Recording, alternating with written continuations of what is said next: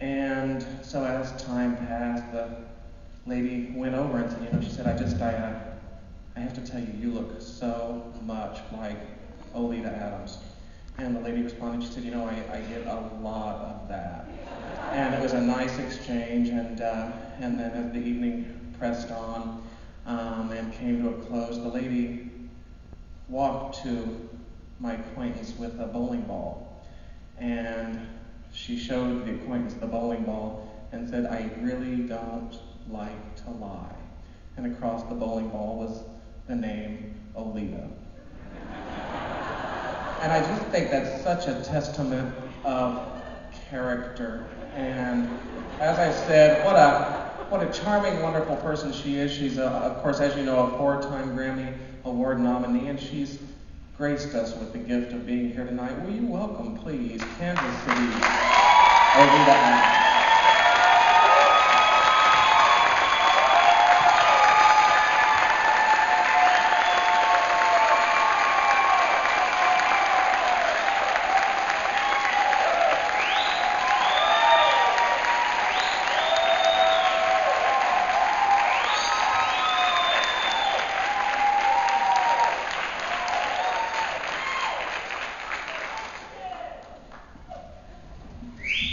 know, I never expected that story, that's for sure.